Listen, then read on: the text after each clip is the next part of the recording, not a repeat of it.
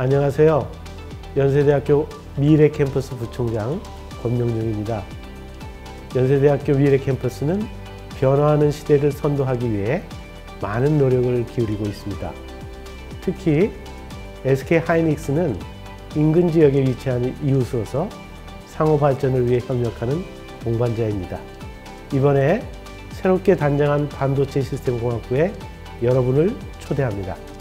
연세대학교의 가족이 되셔서 본인의 발전은 물론 회사, 지역, 국가의 발전을 이끄는 초석이 되시길 기원합니다.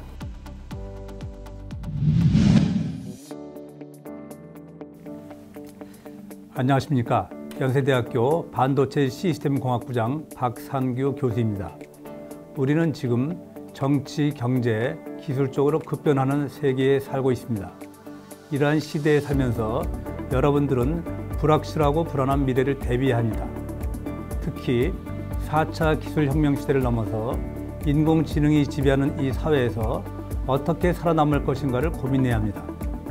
연세대학교와 SK 하이닉스가 손잡고 여러분과 함께 과거의 벽을 넘어서 미래를 밝힐 빛을 모으려 합니다. 아직 다가오지 않은 미래의 복합 문제 해결을 위한 창의적이고 융합적인 지식 근육이라는 솔루션을 여러분 개개인에게 만들어지도록 끝까지 돕겠습니다.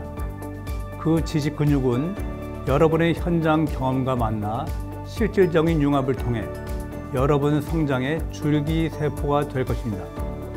이를 위해서 저희 연세대학교는 다섯 가지를 준비했습니다. 첫 번째, 일하며 공부하기 부담 없도록 하겠습니다. 주 3일수 1년 3학기제로 운영합니다. 두 번째, 바로 쓸 수 있게 손에 잡히게 하겠습니다. 인문학적 소양, 전문적 지식 등 유용한 주제를 쉽고 재밌게 전혀 다른 창의적 방식으로 다가가도록 하겠습니다. 세 번째, 큰 연세인으로 빈틈없이 키우겠습니다. 스마트한 인재가 되기에 필요한 SK 하이닉스 관리자 역량을 강화하도록 하겠습니다. 네 번째, 전공 선택의 폭을 넓혔습니다. 시스템 반도체 융합공학, 응용 전기 전자 융합공학, 반도체 인프라 및 환경 융합공학을 개설했습니다. 다섯 번째, 평생 돌보는 연세 케어 시스템을 촘촘히 가동하겠습니다. 여러분의 건강, 진로, 생활 전반 코칭으로 삶의 질을 높이겠습니다.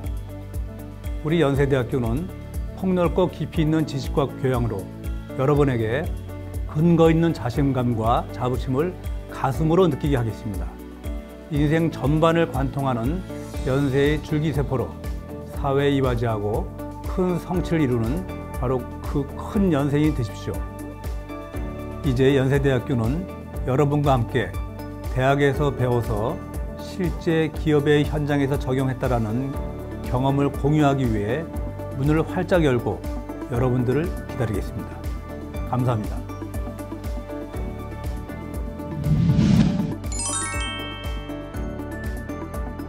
전자총에서 가속된 전자가 나와서 구 안에 아르곤 가스가 밀봉되어 있으므로 전자가 아르곤 가스 사이를 지나갈 때 저와 같은 색깔의 빛을 내게 되죠.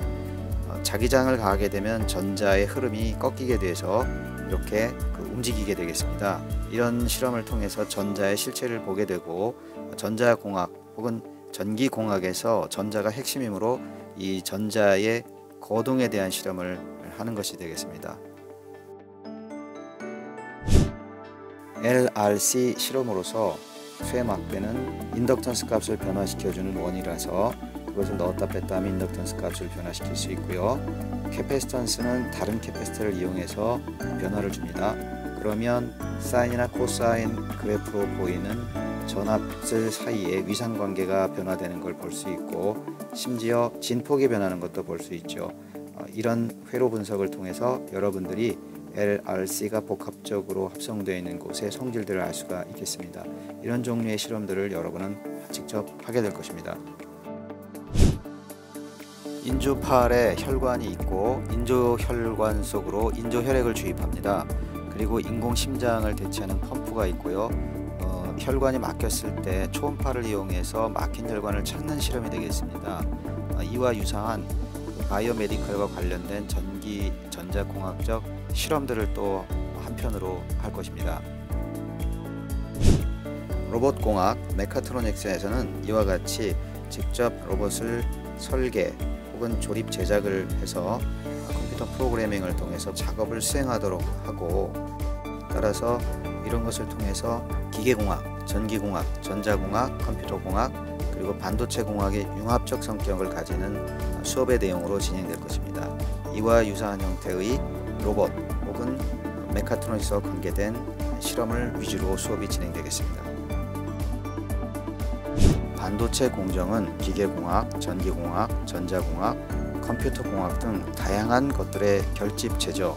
이런 것을 전체적으로 보려면 실제로 어려운 점이 있습니다. 그래서 우리는 미니어처를 만들어서 각 요소 기술들을 결합하고 메카트로닉스와 로봇공학에서 배웠던 자동화 공정을 결합을 해서 자동화된 미니어처 산업단지를 만들어 보는 것이 수업의 또한 부분이 되겠습니다.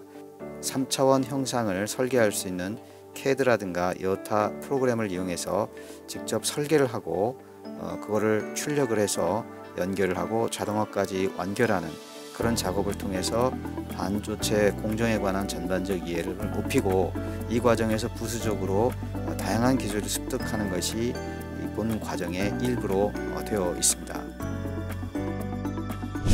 여러분의 학습과 성취도 향상을 위해서 연세 사이버 에듀케이션 센터가 있습니다. 이 사이트에 접속하면 여러분들이 강의 시간에 배웠던 내용을 네트워크가 연결되어 있다면 언제 어디서든 다시 한번 반복해서 학습을 할 수가 있습니다. 여러분들이 미진했다고 생각하는 부분이나 놓쳤던 부분들을 선택적으로 학습할 수도 있고 전 영역을 다시 학습할 수도 있습니다.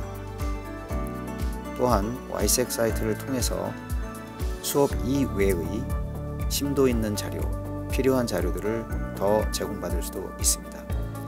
와이색 사이트를 이용해서 여러분들의 학습 효율을 향상시켜 보기 바랍니다.